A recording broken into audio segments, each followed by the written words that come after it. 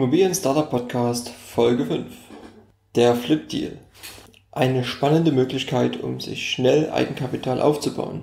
Das heutige Thema ist eine Strategie, die durchaus auch für Anfänger eine gute Möglichkeit ist, um schnell an Eigenkapital zu kommen.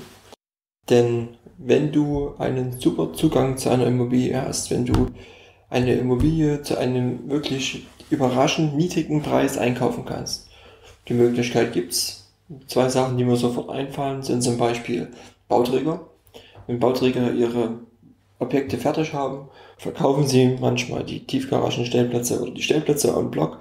Das heißt, du kannst eine größere Anzahl an Stellflächen kaufen und diese dann wieder einzeln verkaufen. Dadurch, dass der Bauträger hier ein gesteigertes Interesse hat, die letzten Stellplätze wegzubekommen, weil dann erst seine Gewährleistung beginnt, wird er dir sicher einen guten Preis bieten, zu denen du die Stellplätze kaufen kannst. Die Vermietung dieser Stellplätze ist eine Option, die andere Option ist, verkauf doch allen anderen Eigentümern im Haus den einen oder anderen Stellplatz oder schreib in der Nachbarschaft die Stellplätze aus. Du wirst sicherlich einen Käufer finden, gerade dann, wenn dein Einstiegspreis niedrig war und du nicht den letzten Euro mitnehmen musst, sondern es dir eher darum geht, die Objekte schnell wieder abzuverkaufen. Die zweite Möglichkeit, die ich sofort im Kopf habe, ist ein günstiger Zugang zu Immobilien aus Zwangsversteigerungen. Obwohl ich hier in einem Mikrofon spreche und ich dich noch nicht hören kann, wir also eine eigenseitige Kommunikation haben, höre ich die Profis jetzt schon laut rufen, die Zeit ist vorbei.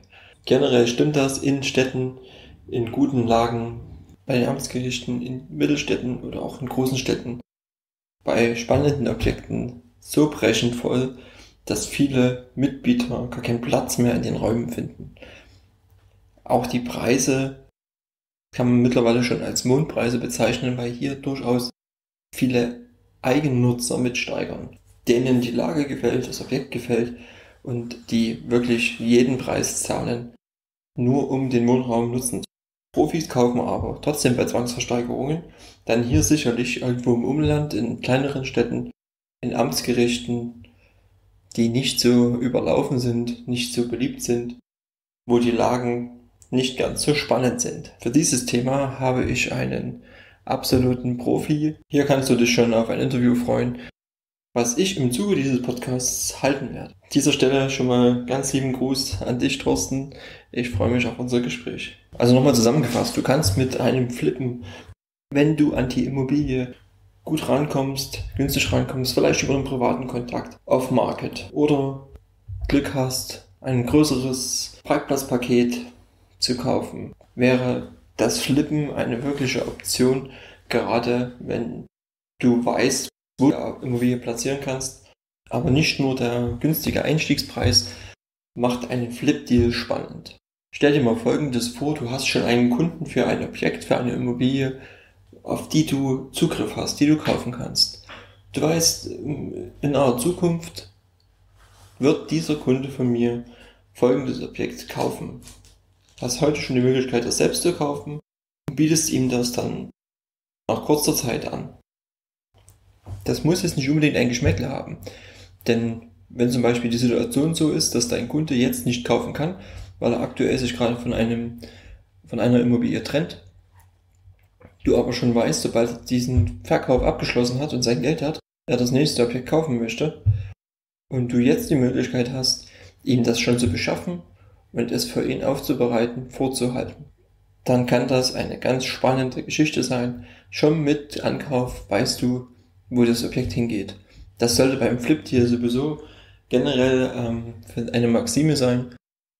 Es geht darum, ein Objekt kurzfristig zu drehen. Das muss jetzt nicht äh, binnen Jahresfrist sein, aber kurzfristig bedeutet auch nicht, das Objekt jetzt zehn Jahre zu halten. Und du kennst in der Regel, oder du solltest in der Regel deinen Käufer jetzt schon kennen für das Objekt, beziehungsweise wissen, wo du ihn findest. Du solltest jetzt schon wissen, zu welchem Preis du verkaufen kannst, wie hoch deine Marge in dem Deal ist. Nicht selten ging es mir in der Praxis so, dass wir ein Objekt dreimal verkauft haben. Da geht es meistens um unsanierte Häuser. Dann ist zwischendurch eine Planung entstanden, noch eine neue Planung entstanden. Der Preis hat sich immer verdoppelt, veranderthalbfacht und erst der letzte hat dann wirklich angefangen, das Objekt zu sanieren und den Wohnraum darin zu schaffen. Der Grund hierfür ist einfach, dass der neue Käufer einen ganz anderen Zugang zu einem ganz anderen Kundenklientel hatte, dem er es dann angeboten hat. Und der neue Käufer hat einfach in seinem, in seinem Arbeitsalltag, in seiner Praxis überhaupt nicht diese kleinteilige Suche und auch nicht die Zeit wahrscheinlich, sich damit auseinanderzusetzen, irgendwo günstige Objekte herzubekommen, sondern lässt die sich zutragen in dem Moment. Ist eine Strategie, die funktionieren kann. Hab sie bitte vor Augen. Vor allem ist das eine Strategie, die auch mit günstigen Immobilien funktioniert, die mit wenig Kapitaleinsatz funktioniert. Im besten Fall kaufst du Flip-Objekte wirklich bar, ohne große Finanzierung und steigerst damit dein Eigenkapital. Wenn dir die erste halbe Million für das Mehrfamilienhaus fehlt, dann arbeite dich langsam darauf hin. Fang mit Garagen an, fang mit Stellplätzen an. Die kannst du vielleicht schon heute bar kaufen. Eine andere Alternative ist, dass du dir in der Familie, Family and Friends oder bei einem Geschäftspartner das, das benötigte Kleingeld kurzfristig durchaus auch zu höheren Zinsen leist, weil du aber jetzt schon weißt, an wen du das verkaufst, wann du es verkaufst und diese Zinsen, dieser gesteigerte Zinsaufwand allemal sich bezahlt macht. Ich wünsche dir viel Erfolg, offene Ohren und Augen, gute Deals und bestmögliche Investments. Vielen Dank, dass du heute dabei warst. Ich bin für heute raus.